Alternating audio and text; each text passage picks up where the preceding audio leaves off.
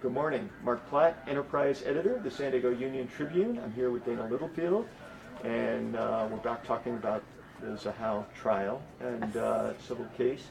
And you've been point on this. This uh, and how many how many weeks are we going on now? Oh, it's been about a month that this has been Um, going on. A yeah. month. Mhm. Okay. All right. So now you've done previous talked about this previously. What is? Let's kind of summarize maybe the past week or the past few days. What's new? Okay. Uh, well, just a little bit of, of background for anyone who might not be familiar. Um, this is a civil trial involving the family of a woman by the name of Rebecca Zahau, whose body was found hanging from a mansion, a second story balcony, uh, in, um, in Coronado. Uh, the, the mansion was owned by her boyfriend, Jonah Shacknai. The county determined, after some investigation, that she died by suicide. That this that she had hung herself, Right. bound and hung herself. Whereas the family has long disagreed with that. They believe that she was killed, and they actually believe she was killed by her boyfriend's brother, the Right. person who discovered the body Right. that morning back in July of 2011. So you asked me about what's been going on this past week.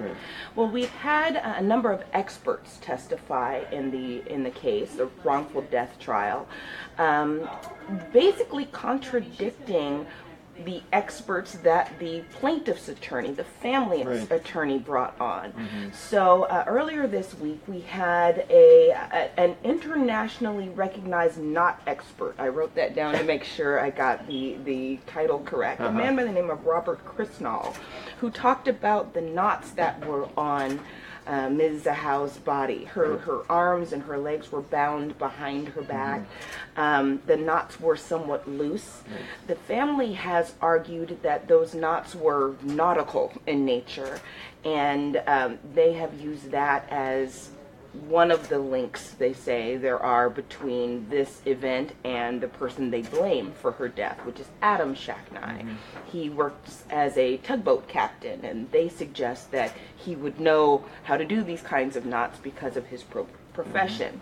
Well, this expert came forward. He is an expert on on suicides, and he talked about how he's seen these kinds of knots in other suicides, and that there's nothing about them that is specifically nautical in nature.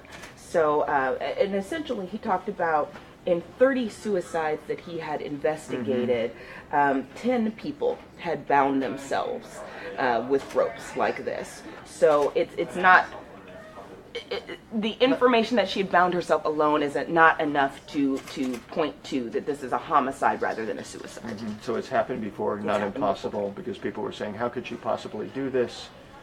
You know, couldn't happen. But in this case, he's saying he's seen that before. Yes, Okay. exactly right. Okay, so that was one one of the major. Those were one of the experts. Uh, Yes.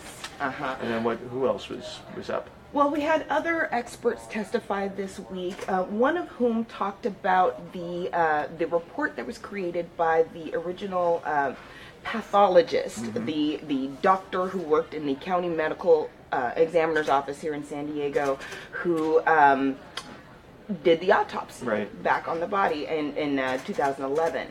And this expert, a man by the name of Dr. Gregory Davis from the University of Kentucky, he testified that that report that was created at the time was, quote, one of the finest he had ever seen. Mm-hmm. And essentially, he agrees with those findings that this was a suicide and not a homicide. Mm-hmm. The evidence points to suicide. Mm-hmm. Um, he also specifically pointed to the fact that there's there one of the points of contention here is whether Rebecca Zahau um, died as a result of manual strangulation or if it was by the actual hanging. The family contends that her body hanging from the balcony was a, a staged thing um, to make it look like she had taken her own life.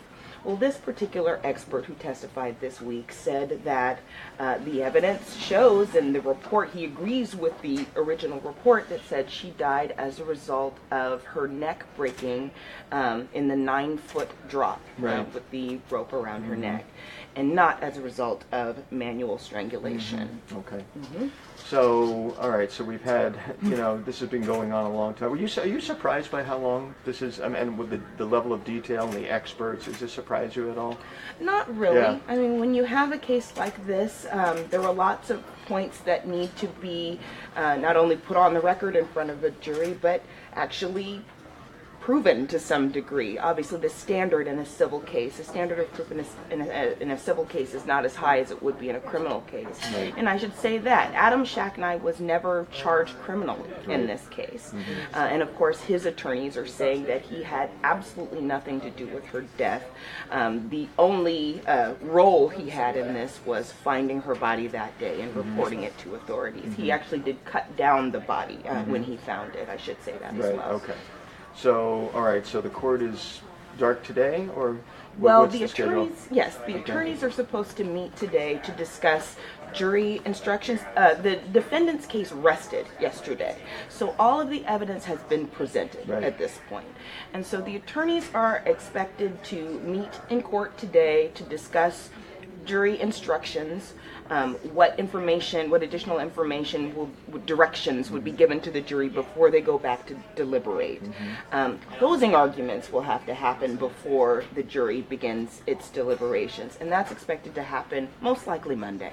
Okay, so closing argument should last how long? A day, a couple days? That I don't know. I haven't been given uh, a specific time frame, but um, you know, my best guess, based on what uh, the reporters out there are telling me, the reporters who are covering this are telling me, is you know perhaps a day.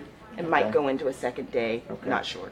And then the jury will get, get this by middle of next week, early next week, something like that? Yes. Okay. Sounds like that. Possibly as early as Tuesday. Wow. Okay, well, Mm-hmm. thank you for catching us up. We will be, uh, be, we'll be here again with you or one of the reporters, and uh, really appreciate the coverage. It's been very uh, extensive, uh, very well done. Continue to watch for our reports uh, in the in print and online.